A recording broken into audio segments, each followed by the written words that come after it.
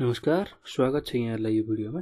आज हामी यो भिडियोमा प्रोबेबल इरर र लिमिट फर पपुलेसन कोरिलेसन कोफिसियन्टलाई कसरी क्यालकुलेट गर्ने भन्ने विषयमा चर्चा गर्नेछौँ र हामीले योभन्दा अहिलेको भिडियोमा प्रोबेबल इररको कन्सेप्ट सिकिसकेका छौँ जानिसकेका छौँ र यो भिडियोमा हामी प्रोबेबल इररको क्यालकुलेसन र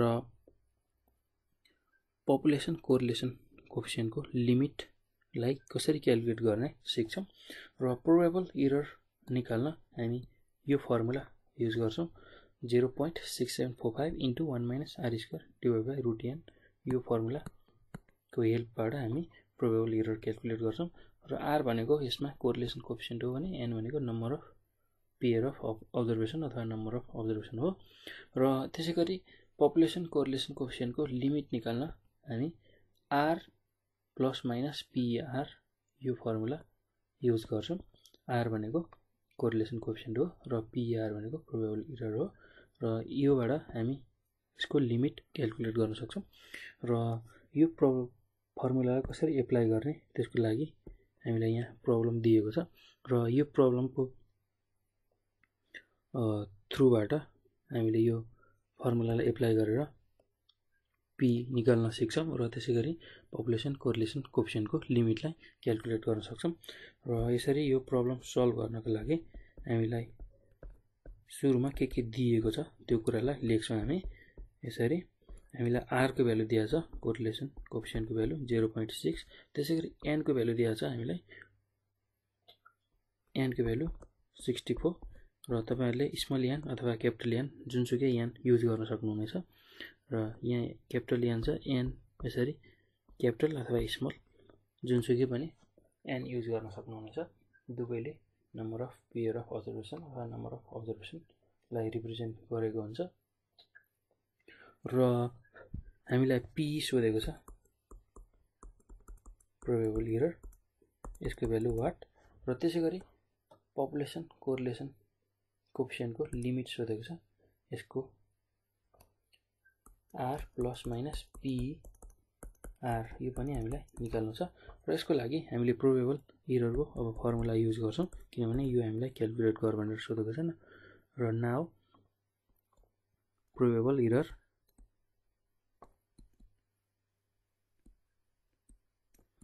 P R भनेको zero point six seven four five into one minus R square divide by root N र zero point six seven four five जस्तो त्यस्तै छ इन्टु वान माइनस आर भनेको हाम्रो zero point सिक्सको square divide by root N भनेको हामीसँग sixty four छ। र यसको भ्यालु हामी finally zero point zero five four पाउँछौँ। पिआरको value zero point zero five four र यो हाम्रो प्रोबेबल इरर हो र त्यसै गरी अब पपुलेसन कोरिलेसन कोफिसियन्टको लिमिट चाहिएको छ। त्यसको लागि हामी फर्मुला युज गर्छौँ। The limit for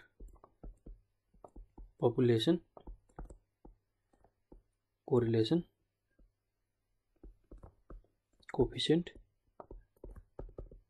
भनेको यसको लागि R plus minus P R use गर्छौँ। र आरको भ्यालु हामीसँग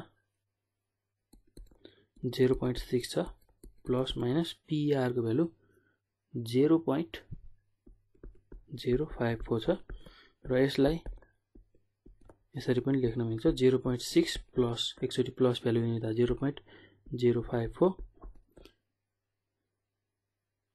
अथवा सुरुमा माइनस लिएर प्लस लिने चलन छ।